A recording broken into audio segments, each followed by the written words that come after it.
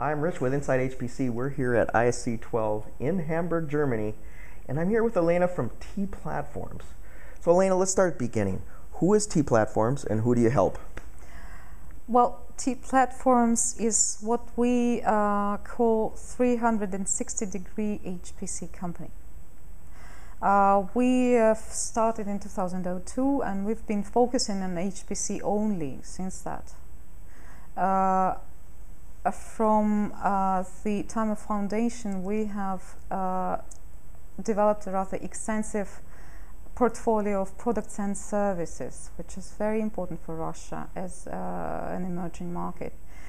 Uh, so, well, to give you just a, a brief uh, understanding of what we are in Russia, well, it is no surprise that we don't really face a lot of competition from Russian companies, although we do compete with Intel, oh, with, uh, sorry, sorry, with IBM and uh, HP there. Uh, but still, uh, we were we succeeded in building the largest systems in Russia and CIS uh, several times, six times actually, and we have six installations at top 500. I mean, not in the current list, but through its history from 2003 and up to now. Uh, so our largest installation is Lomonosov Moscow State University. It's 1.7 petaflop in peak performance, but since it's a hybrid system with NVIDIA and a lot of NVIDIA, uh, we have uh, around uh, around a petaflop of LINPACK performance, and uh, it's now the largest system in in Russia. just to give you the idea of uh, how the company feels in the emerging market like yeah yeah. what are the challenges there? You know yeah. for, for a market that is is still you know it's still in its infancy stages right? What are the challenges for you as a company? Well actually this is a market which you cannot capture and this is a market where you cannot position yourself because the market is emerging. You can hardly capture an emerging market and uh, the mission of uh, the, the, only or the largest uh, homegrown HPC company in markets like Russia is basically creating the market and uh, realizing, bringing to reality the demand for HPC, uh, which is only um, a potential for customers because uh, before customers start to use it or before they start to hear a lot of that, uh, they don't realize what HPC technology can bring them. So uh, it is, uh, of course, we do have sites like Lomonosov Moscow State University who, who are pretty educated, very well educated, in fact, in HPC. Uh, but still, the, even the uh, most educated customers require slightly more than, uh, let's say, uh, similar sites in Europe. Uh, it's it's uh, basically a common thing in Europe to build, let's say, infrastructure data center themselves using other companies than an HPC vendor when the vendor provides just the computing equipment. This is not the approach which can be successful in Russia because in Russia we have to build everything up from, from a bare floor and, and walls. Uh, even starting with uh, reinforcing the floors, you know, to stand the weight of the equipment, and up to everything, including cooling, uh, power, everything. The barrier and the most uh, prominent barrier, uh, to my mind, is just the lack of expertise, lack of knowledge uh, at the customer side of how to use it and, and why, basically, why they should start. Because it, evol- it involves uh, costs for a customer, not just buying the machine, but also having specialists.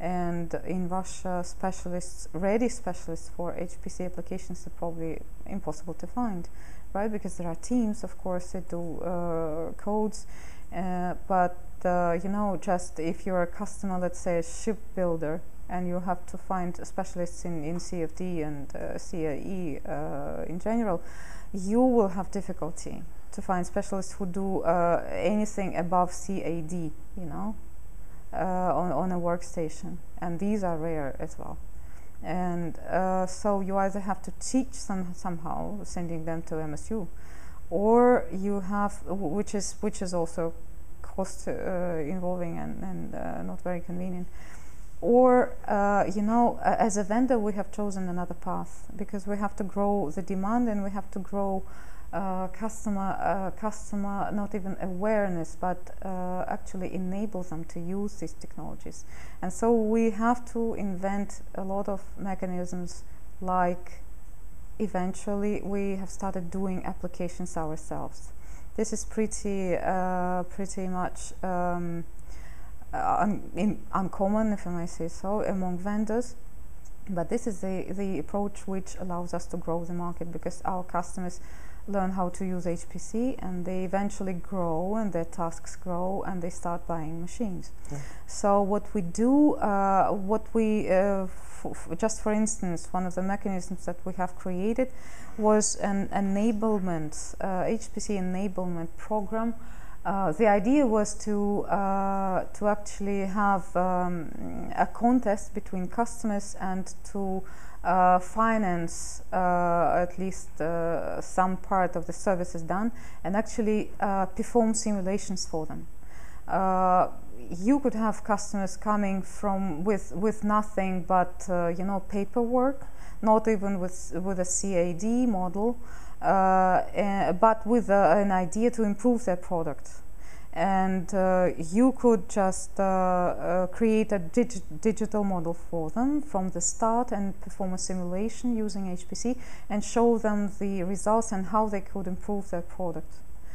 Yeah. So finally, they published this kind of book. It is in Russian, but we have an English version. Although I will not give my hand for the Okay. course of translation yeah. yeah. because it's a difficult subject. But yeah. Um, so it uh, it's it's like this. You on each page.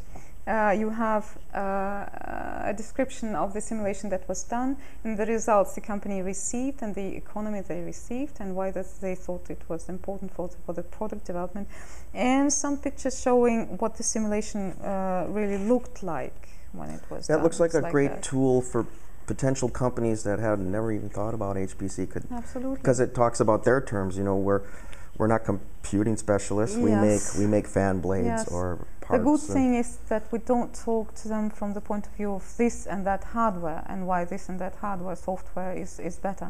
We, we just try to solve their problems, and their problems are applications. And this is where we start speaking with our customers. And this is a, a better approach, especially for emerging markets like Yeah. Russia. yeah. Well, great.